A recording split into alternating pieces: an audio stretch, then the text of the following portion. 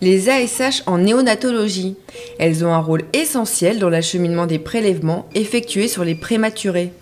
Le rôle des ASH est essentiel dans l'acheminement des prélèvements parce que euh, tout simplement on ne peut pas euh, mettre en route des thérapeutiques si on n'a pas des résultats sanguins ou des résultats biologiques. Donc on a voulu les sensibiliser et qu'elles comprennent surtout qu'elles étaient un maillon fort euh, de la chaîne de la prise en charge des enfants.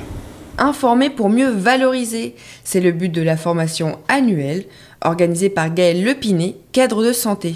Ce projet consiste à amener des connaissances et une information auprès des ASH.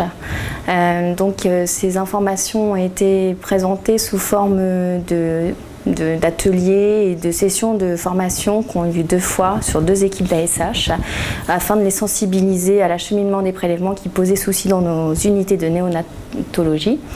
Euh, ça a été présenté sous forme de diaporama euh, avec un PowerPoint et un support écrit.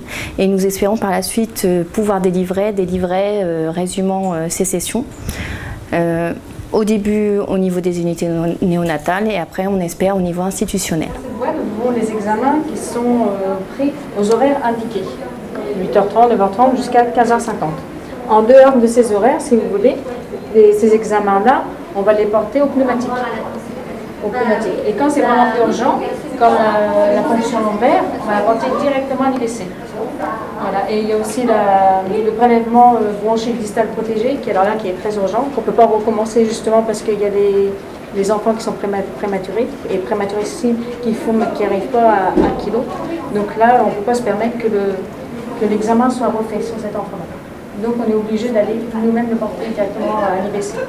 Six mois après la journée de formation, les ASH ont déjà pu remarquer les avantages de ce projet. Oui, nous avons marqué des changements depuis, depuis cette formation.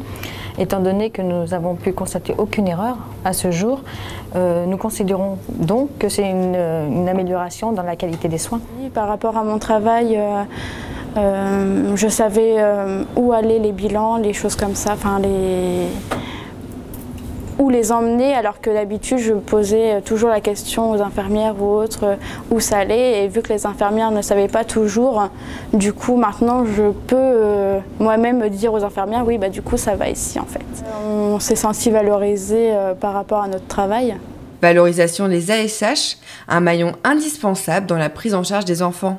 Moi, j'ai constaté que l'équipe ASH était retrouvée redynamisée, ça avait euh, donné un nouvel élan de travail. Donc euh, les gens se sont réinvestis au travail et on a retrouvé une dynamique d'équipe euh, tout à fait positive. Un travail non négligeable, puisqu'au CHU, ce sont plus de 2500 naissances qui ont lieu chaque année, dont 46% de prématurés.